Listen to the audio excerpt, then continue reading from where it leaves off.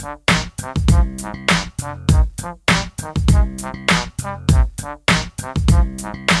you.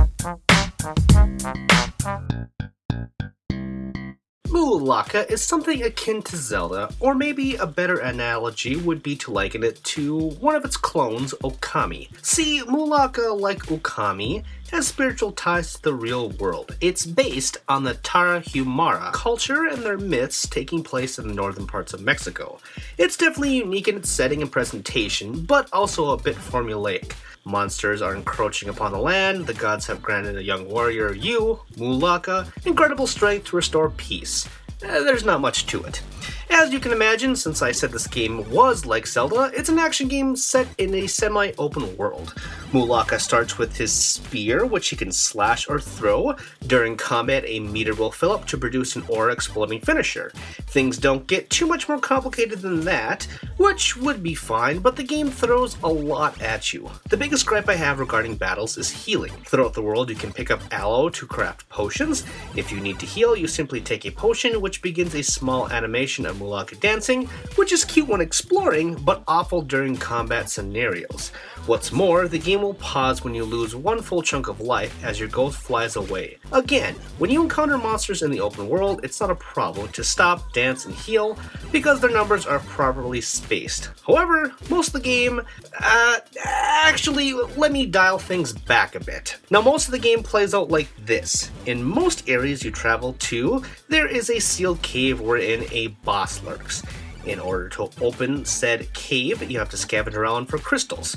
Most of the trials involve sealed combat arenas wherein you have to fight oncoming hordes of monsters. There is a bit of variety in activities though, other than that, including rescuing NPCs from trapped areas or solving puzzles. But again, most of the game is fighting, and it's bad. Aside from the heal gripe, there is no lock-on. A reticle appears on a monster, which will gravitate your attacks toward it, but it doesn't actually lock you onto them. You have a dodge, but it's slight, and since you can't lock on, it's seemingly worthless. I found myself being knocked around like a lifeless doll for a good majority of the latter combat scenarios. There is an upgrade system, but it's mediocre at best. It's frustrating beyond belief, and it saddens me because, again, this world is great, or that is to say, the aesthetic is fantastic. It's simple. There's not a lot of detail to the monsters, characters, or environments. Everything is big and chunky, but I like the lack of detail. It's minimalistic and fits with the motif. It's just hard to enjoy with bad mechanics being in battle or platforming around. The first couple hours are fun, but it grinds to a halt right around the end of the second area. Sure, new powers keep things interesting, but for the most part you'll be pulling out your hair in frustration due to the poor combat balances.